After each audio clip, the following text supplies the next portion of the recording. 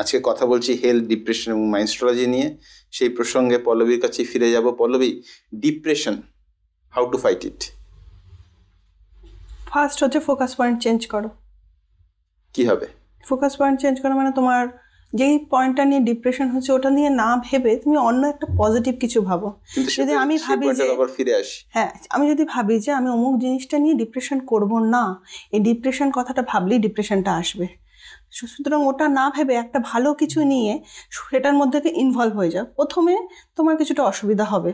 তারপরে তুমি সেটাকে আস্তে আস্তে ফাইট করতে করতে করতে তোমার অটোমেটিক্যালি দূর হয়ে যাবে এবং তুমি যখন ওই জিনিস, যে কাজটা মনের কাজটা ম- মানে সেটা অবশ্যই হতে হবে, তোমার যেটা মনে ভালো লাগছে। ভালো লাগার কাজটার মধ্যে ইনভলভ হয়ে গেলে অটোমেটিক্যালি ওটা আস্তে আস্তে আস্তে আস্তে কভার করবে। আরেকটা জিনিস হচ্ছে স্মাইলিং ফেস আমি দেখেছি খুব ডিপ্রেশনে আছি, ধরো। এবার হঠাৎ কেউ সামনে এলো, আমি ওইরকমই লটকে রইলাম, মুখটা কিছু হয় না। একটা স্মাইল একটা ডিপ ব্রিথ এবং ধ্যান, এই তিনটে জিনিস খুব খুব খুব হেল্প করে। আমি কখনো কখনো শুয়ে শুয়ে অনেকগুলো ডিপ ব্রিথ নিই। দেখি আমি কিন্তু রিল্যাক্স ফিল করছি। একটু ধ্যান করলে, আমি হয়তো ধ্যান করার সময় আমার ফিক্সড নেই, কিন্তু ধ্যান করলাম। এবং মাইন্ডটা পিসফুল হলো। তখন তুমি ডিসিশন নিতে পারবে আমি এই রাস্তায় যাব না আমি এই রাস্তায় যাব। আস্তে আস্তে আস্তে আস্তে ওটা রিকভার হয়। আমার কাছে তো এটাই মনে হয়েছে। আর হচ্ছে গিয়ে একটা নিয়ম শৃঙ্খলা খুব দরকার। মানসিদি? আমিও একদম একমত ওর সাথে। ও যে কথাটা বলল ডিপ ব্রিথ এটা সাংঘাতিক ভাবে এফেক্ট হ্যাঁ সাংঘাতিক। আর যখন একটা অস্থিরতা ডিপ্রেশনের আরেকটা জিনিস আমার মনে হয় খুব অস্থির লাগে। এটা নয়, ওটা করছি, ওটা নয়, সেটা করছি, কিন্তু কিছুতেই কোনো শান্তি পাচ্ছি না। সেক্ষেত্রে ডিপ ব্রিথ এবং তারপরে মেডিটেশন এটা না তোমার গোলটাকে ঠিক করতে সাহায্য করে। এটা আমার উপলব্ধি থেকে আমি বলছি। আর মানে তখন ডিসিশন নেওয়ার ক্ষমতা মস্তিষ্কটা অনেক বেশি অ্যাক্টিভ হয়। ঠিক। আমার ধারণা এবার তুমি বলো। তোমার কাছে আশেপাশে তোমার যারা আছে তুমি ধরো পজিটিভলি ভাবছ কিন্তু সে একটা নেগেটিভ ভাইবস তোমার কাছে পাঠিয়ে দিচ্ছে। তখন তুমি আবার একটু ডিমোটিভেটেড হয়ে যেতে পারো। কিন্তু এক্ষেত্রে ফ্যামিলি সাপোর্ট বা আশেপাশে তোমার যারা সঙ্গী সাথী আছে সেটাও ভীষণ ইম্পর্ট্যান্ট যেখান থেকে তুমি দেখছ নেগেটিভ ভাইব আসছে। অ্যাভয়েড অ্যাভয়েড করা উচিত। এরকম আমার ক্ষেত্রে আমি অনেকবারই এরকম কিছু নানা রকম হয়েছে কিন্তু আমার ফ্যামিলি আমার বাবা মা প্রচণ্ড সাপোর্টিভ এবং ওদের কাছ থেকে সবসময় পজিটিভ ভাইস পাই। এই জন্য কী হয় আমার এটার সঙ্গে লড়াই করতে খুব সুবিধা। সুবিধা হয়। আমি যা যা যেই বন্ধুদের কাছ থেকে নেগেটিভ ভাইবস পেয়েছি আমি দূরে সরে এসেছি। এবং আমি তাদের কাছে গ্রেটফুল সত্যি কথা কেন গ্রেটফুল তারা আমাকে অনেক জায়গায় দেখিয়ে দিয়েছে যে আমি যেখানে ফোকাস করলে আমি হয়তো নিজে ওটা বুঝতে পারতাম না। তারা দেখিয়েছে বলে বুঝতে পারছি যে হ্যাঁ এটা আমি ভুল করেছিলাম। এটা গেলে আমার ক্ষতি হচ্ছে। তারা আমাকে কিছু কিছু চিনিয়ে দিয়েছে মানুষ যে এটা করলে আমার ঠিক হচ্ছে না। ওখান থেকে আমি তাদের কাছে গ্রেটফুল ঠিক ডিপ ব্রিথ নিয়ে কথা হচ্ছে। একটা কথা জানি রাখি, অনেক সময় রাতের দিকে ঘুম আসে না।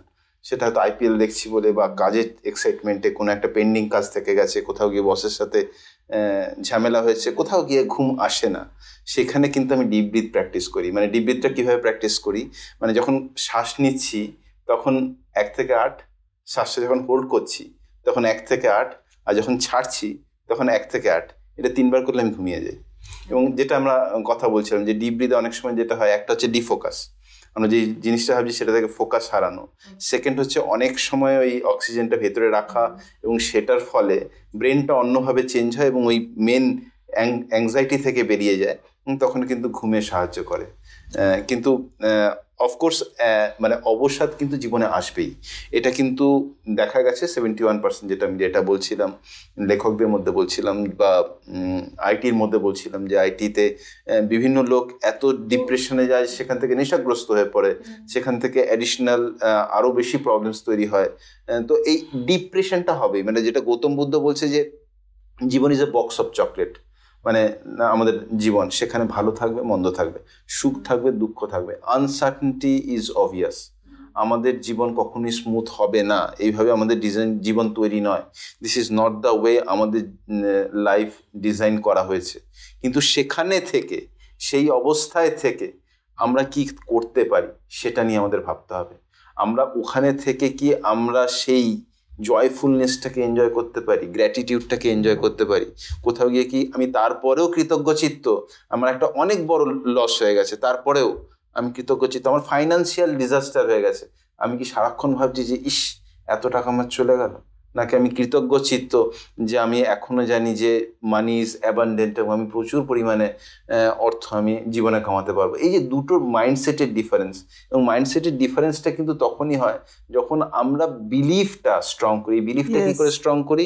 মানে ভেতর থেকে বিলিফটা স্ট্রং করা। সেটাই সাবকনসিয়াস পাওয়ার সেটাই মাইন্ডস্ট্রোলজি সেই জন্যই পাওয়ার অফ সাবকনসিয়াস মাইন্ড সেই জন্যই মাইন্ড পাওয়ার যে কোথাও গিয়ে একটা জিনিস যখন ক্লিয়ার হয়ে যায়, যে আমাদের ভবিষ্যৎ, আমাদের সাবকনসিয়াসে নিহিত, আমাদের পৃথিবী ঠিক সেইভাবেই আনফোল্ড হয় যেভাবে আমরা ভাবি, তাহলে আমি নেগেটিভ কেন ভাববো? তো যখন আমরা নেগেটিভ ভাবাটাকে, যেটা মানুষের দিয়ে তুমি শুরু করেছিলে, যে পজিটিভিটি ইজ ইনফেকশিয়াস ভালো ভাবা, ভালো থাকা ইজ ইনফেকশিয়াস যখন আমরা ভালো থাকতে শুরু করি, যেটা পল্লবী বলল, তখন খারাপ বন্ধুদের আমরা ডিটক্স করে দিই কেটে দিই রাইট তো এই যে যখন এই প্যাটার্নটা ফর্ম হয়ে যায় তখন না বাইরের পৃথিবীতে যাই হোক যত ঝঞ্ঝাই হোক ভেতরের পৃথিবী কিন্তু শর্টেড আর ভেতরের পৃথিবীতে যদি একবার ঝড় ওঠে তখন বাইরের পৃথিবীতে হাজার অর্থ থাক হাজার প্রতিপত্তি থাক হাজার অপরচুনিটি থাক আমি কিন্তু কোনোটাই ইয়ে করতে পারব না সেটাই হচ্ছে। ডিপ্রেশন ওই যে একটা যে বলল বিলিফ সিস্টেম হ্যাঁ। অরুণিমা সিনহা ঘটনা সবাই জানে দুটো পা কাটা হয়ে গেছিল। হ্যাঁ, সে ভেবেছিল যে আমি দুটো পা কাটা হয়ে গেছে তার তারপরেও আমি বেঁচে আছি। তার অর্থ এটা যে আমাকে ভগবান বাঁচিয়ে রেখেছে কিছু ভালো কিছু করার জন্য। এভারেস্ট জয় করেছিল। এটা কখনো স্ট্রং বিলিফ পাওয়ার না হলে হয়। একই জায়গায় ওখানে অন্য একটি মানুষের সঙ্গে যদি ওটা হয় তার লাইফটা কিন্তু শেষ হয়ে যাবে। বিলিফ সিস্টেমে কেউ বেরিয়ে আসছে কেউ ভেতরে ঢুকে যাচ্ছে। না তবে আমার মনে হয় মানে আমরা মোটামুটি যারা ধরো চলছি, হাঁটছি মানে একদম এক্সট্রিম পর্যায়ে যাচ্ছি না। মন কিন্তু সবসময় সাবকনসিয়াস মাইন্ড একটা কমফোর্ট জোন ঠিক বার করে নেয়। আমি মানে আমার একটা অভিজ্ঞতা বলছি। আমি তখন কলকাতায় বেড়াতে এসেছি পোস্টিং ছিল বেরহামপুরে তো পয়লা বৈশাখের দিন সকালবেলা খবর এলো, আমার তালা ভেঙে প্রায় তিন ভরি মতো সোনা চুরি হয়ে গেছে টাকা চলে গেছে। তো ইনিশিয়ালি না খুব খারাপ লাগল। তারপরে ভাবলাম কি ঠিক আছে কেউ না কেউ তো ভোগ করছে। ঠিক। কেউ না কেউ তো ভোগ করছে ঠিক আছে ওর ওর খুব দরকার আমার থেকে ওর বেশি দরকার। ও চুরি করেছে ঠিক আছে না ভগবান ওকে এইভাবে দিচ্ছে। তো আমি মনটাকে গুছিয়ে নিলাম। আমার ওটা ভাগ্যে ছিল না ঠিক আছে ওর চলে গেল তো কি হয়েছে। তো আমি বলছি যে আমাদের মন কিন্তু মোটামুটি নিজেকে নিজে এ করার মুভ মানে মুভ অন করতে চায়। কিন্তু আমি আবার বিজুষের কাছে ফিরবো যখন ডিপ ডিপ্রেশন যে অবস্থাটা আমি বললাম যে আমি চাইছি মুভ অন করতে, কিন্তু ধর আমি শুয়ে আছি, বুঝতে পারছি শুয়ে থাকলে আমার একটুও ভালো লাগছে না, শুয়ে থেকেও ভালো লাগছে না, কিন্তু কিছু উঠে যে কিছু করব সেই হিম্মতটাও থাকে না। তখন আমি কি করব? বলো ডিপ ধরো টোয়েন্টি ফাইভ পার্সেন্ট ওয়ার্ক করল, তারপরে হয়তো সেটা ওয়ার্ক করছে না, দিনের পর দিন, রাতের পর রাত ঘুমোচ্ছি না তখন আমি সত্যি বলছি এখন কাটিয়ে উঠেছি সেই দিনগুলো। কিন্তু এই যে সময়টা ধরো আমি জানি না ভবিষ্যৎ আমার জন্য কি অপেক্ষা করে আছে। আমি জানতে চাইছি যেহেতু পীযুষ এক্সপার্ট এই ব্যাপারটা নিয়ে অনেক কিছু জানো আমাদেরকে গাইড করো। একটা জিনিস আমি যেটা জীবন থেকে দেখি জীবন হচ্ছে প্রজ্ঞা জীবন হচ্ছে উইজডম জীবন হচ্ছে এক্সপিরিয়েন্স আমাদের জীবনটা কেন দেওয়া হয়েছে? যে বিভিন্ন জিনিস অনুভব করার জন্য। আমাদের সবার জীবনে তো বৃহৎ গোল থাকে না। সবাই তো নেতা হতে চায় না, সবাই তো মাইস্ট্রাজার হতে চায় না। প্রত্যেকটা মানুষ সাধারণভাবে জীবন ধারণ করতে চায়, সাধারণভাবে নিজেদের রিলেশনশিপ এবং সংসার করতে চায়, এবং তারপরে সাধারণভাবে জীবনের অভিজ্ঞতা সেটা নিতে চায়। জীবনে যেন বিভিন্ন রকম অনুভূতি হয়। এই অনুভূতিগুলো কি? একটা অনুভূতি হচ্ছে ট্রাভেল ভ্রমণ। একটা অনুভূতি হচ্ছে কিছু ক্রিয়েটিভ করা। একটা অনুভূতি হচ্ছে সকলের সঙ্গে থাকা। একটা অনুভূতি হচ্ছে ভালো সিনেমা দেখা, বই পড়া। এরকম বিভিন্ন খেলা- দেখা। তো এই অনুভূতিগুলো আমাদের ভেতরে থাকে। এবার আমি জীবনে যদি অনুভূতি রাশিগুলো টিক করতে থাকি, সেটা কিন্তু কখনো শেষ হয় না। এই যে সবে ঘুরে এলাম, বাবা মা এই বয়সেও কিন্তু তাদের ট্রাভেলটাকে এনজয় করেছে। অর্থাৎ কোথাও গিয়ে কিন্তু এই অনুভূতি বা এক্সপিরিয়েন্স শেষ হয়ে যায় না। তো আমার যেটা মনে হয়, যখন আমি কোনো রকম ইন্সপিরেশন পাচ্ছি না উঠে দাঁড়ানোর, যখন আমার মধ্যে আর কোনো উদ্দীপনা বাকি নেই যে আমি একটা নতুন কাজ নতুনভাবে করব। আমি হেরে গেছি, আমি ডিসাইড করে নিয়েছি, আমি হেরে গেছি। আমাকে আর কোনো পজিটিভ বার্তা আমাকে ইন্সপায়ার করছে না। কোনো বন্ধুর কথা আমার কানে ঢুকছে না। সেখানে গিয়ে কিন্তু একটা জিনিসই বলা উচিত।